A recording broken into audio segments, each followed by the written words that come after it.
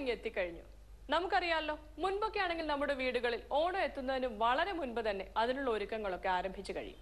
പക്ഷെ ഇന്നിപ്പോ കാലം മാറി. പക്ഷെ എന്തൊക്കെ റെഡിമെയ്ഡ് ആണെന്ന് പറഞ്ഞു കഴിഞ്ഞാലും ഓണസദ്യയൊക്കെ നമ്മുടെ വീട്ടിലുണ്ടാക്കുന്നതിന്റെ ഒരു ഫീൽ ഒന്ന് വേറെ തന്നെയാണ്. അത്തരത്തിൽ നമ്മുടെ വീട്ടിൽ ഓണസദ്യക്ക് ഉണ്ടാക്കാൻ പറ്റുന്ന ചില വിഭവങ്ങളും ഒപ്പം അകത്തളങ്ങൾ മോടിയാക്കുന്നതിനുള്ള ചില ടിപ്സുമായാണ് ഇന്നത്തെ ലേഡീസ് ഫസ്റ്റ് നിങ്ങളുടെ മുന്നിലേക്ക് എത്തുന്നത്. ആദ്യം തന്നെ ഓണസദ്യക്ക് പറ്റുന്ന ചില വിഭവങ്ങളുമായി രൂപ ജോർജ്.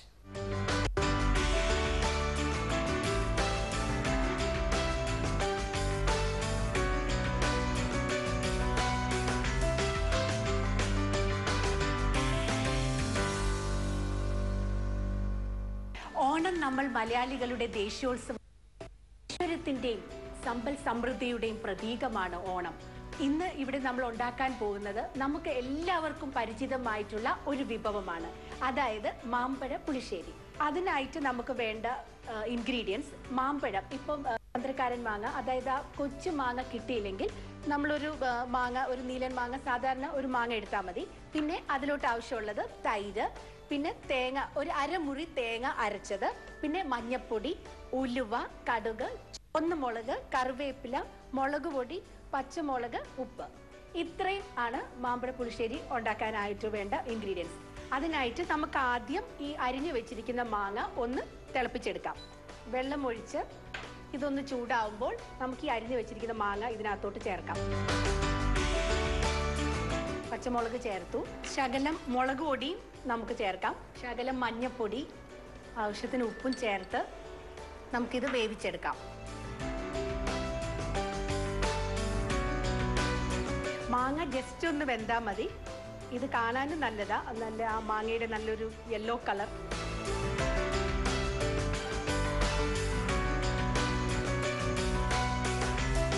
ഈ മാങ്ങ വെന്ത് കഴിഞ്ഞു. അപ്പോൾ നമുക്കിനി ശകലം തേങ്ങ അരച്ചത് നന്നായി അരച്ച തേങ്ങയാണ്.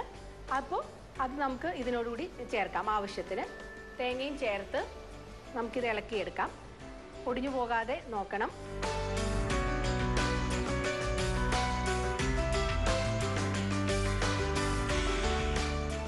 അതൊന്ന് ജസ്റ്റ് ഒന്ന് തിളച്ചാൽ മതിയായിരിക്കും. ഒരുപാട് നേരം ഇനി പാചകം ചെയ്യേണ്ട. ഇനി ആവശ്യത്തിന് തൈര് നമുക്ക് ചേർക്കാം. തൈര് ചേർക്കുമ്പോൾ അതിനാവശ്യമുള്ള പുളിയും അതെല്ലാം ഈ മാമ്പഴ പുളിശ്ശേരിക്ക് കിട്ടും. തൈര് ചേർത്ത് കഴിഞ്ഞാൽ ഇതധികം തിളയ്ക്കാതെ തന്നെ നമ്മളിത് ഒന്ന് നിർത്തിയിട്ട് പിന്നെ നമുക്കിത് ചുവന്ന മുളകും ഉലുവയും കടുകും കറിവേപ്പിലൊക്കെ ഇട്ട് താളിച്ചെടുക്കാം. ഇതിപ്പോൾ ഞാൻ നിർത്തി. നമ്മൾ തൈര് ചേർത്ത് കഴിഞ്ഞാൽ നമ്മൾ അധികം അത് കുക്ക് ചെയ്യാൻ പാടത്തില്ല. നമ്മൾ തൈരും തേങ്ങ അരച്ചതും ചേർത്തു. അപ്പോൾ ഇനി നമുക്കിതൊരു സെർവിങ് ഡിഷിലോട്ട് മാറ്റിയിട്ട് നമുക്കിനി താളിച്ചെടുക്കാം. നമ്മുടെ ഈ ഒരു ഡിഷ് ഞാൻ ഈ പാത്രത്തിലോട്ട് മാറ്റി ഒരു സെർവിങ് ബോളിലോട്ട് മാറ്റി. ഇനി നമുക്കിത് താളിക്കാം.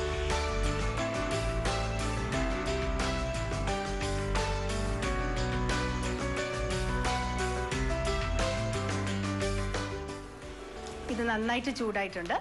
ഇപ്പോൾ നമുക്കിനി ഇത് ഈ നമ്മൾ ഉണ്ടാക്കി നമ്മൾ തയ്യാറാക്കി വെച്ചിരിക്കുന്ന മാമ്പഴ പുളിശ്ശേരിയിലോട്ട് ഈ താളിച്ചത് നമുക്ക് ചേർക്കാം.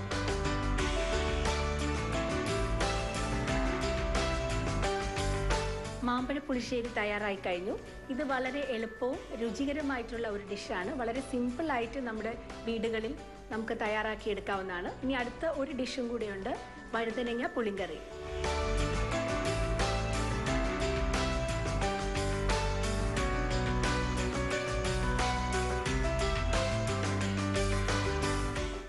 വഴുതനങ്ങ പുളിങ്കറിയാണ് ഇനി നമ്മൾ തയ്യാറാക്കാൻ പോകുന്നത്.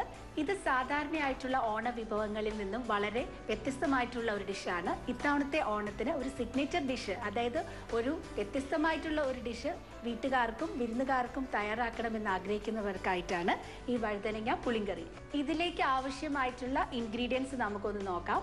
ഒരു വഴുതനങ്ങ നീളത്തിൽ അരിഞ്ഞത് പിന്നെ ഒരു സവോള നീളത്തിൽ അരിഞ്ഞത് പിന്നെ ഒരു അരമുറി തേങ്ങ അരച്ചത് പിന്നെ പച്ചമുളക് രണ്ടെണ്ണം രണ്ടെണ്ണം പിന്നെ ഇഞ്ചി അരിഞ്ഞത് പിന്നെ ചുവന്ന മുളകും വാളൻ പുളി ഒരു തക്കാളി വേവിച്ച് അരച്ചത് ആവശ്യത്തിന് മുളക് പൊടിയും ഉലുവയും മല്ലിപ്പൊടിയും ഉപ്പും കായപ്പൊടിയുമാണ്.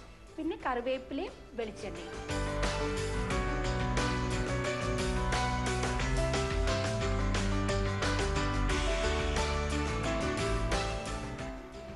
നമുക്ക് ഈ പാത്രത്തിലോട്ട് വെളിച്ചെണ്ണ ഒഴിച്ച് ഇത് ചൂടാകുമ്പോൾ ഈ വഴുതനങ്ങ വറുത്തെടുക്കാം.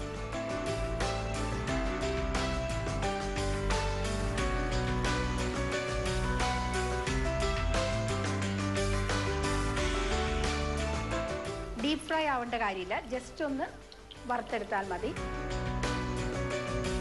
നമ്മൾ നീളത്തിൽ അരിഞ്ഞു വെച്ചിരിക്കുന്ന ഈ സവോള ഈ വെളിച്ചെണ്ണയിലോട്ട് നമുക്ക് ഇടാം. സവോള. സവോള നല്ല ബ്രൗൺ കളർ നല്ല ചുവക്കി അത് വഴറ്റണം.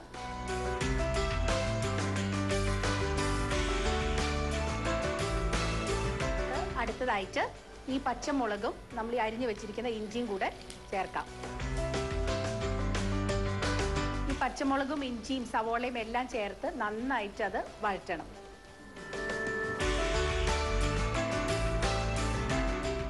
മുളക് പൊടി ചേർക്കാം. ഒരു തക്കാളി നമ്മൾ വേവിച്ച് മിക്സിയിൽ അരച്ചെടുത്തതാണിത്. ഒരു തക്കാളി വേവിച്ച് അരച്ചെടുത്തത്. അത് ചേർക്കാം.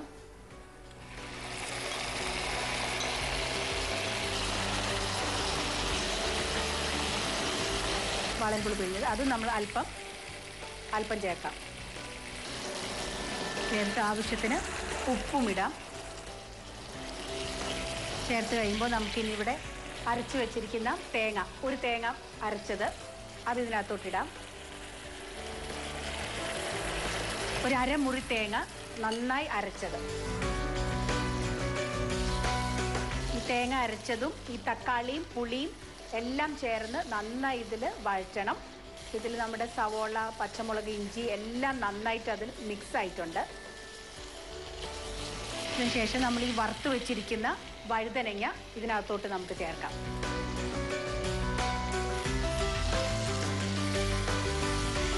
അപ്പോൾ ഇതിലെല്ലാ ഇൻഗ്രീഡിയൻസ് ഇതിൽ മിക്സ് ആയി കഴിഞ്ഞു. ഇത് നമ്മുടെ തക്കാളിയും പുളിയും തേങ്ങ അരച്ചതും പച്ചമുളകും സവോളയും ഇഞ്ചിയും എല്ലാം മുളക് പൊടിയും എല്ലാം നന്നായി ഇതിലോട്ട് മിക്സ് ആയി കഴിഞ്ഞു. നമ്മൾ അല്പം വെള്ളം ഒഴിച്ച് നമുക്കൊന്നുകൂടെ ഒന്ന് വേവിക്കാം.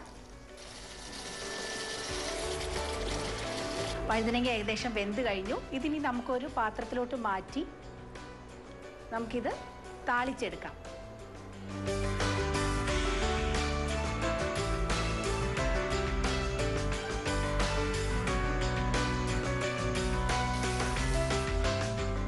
നമ്മുടെ വഴുതനങ്ങ പുളിങ്കറി റെഡിയായി കഴിഞ്ഞു.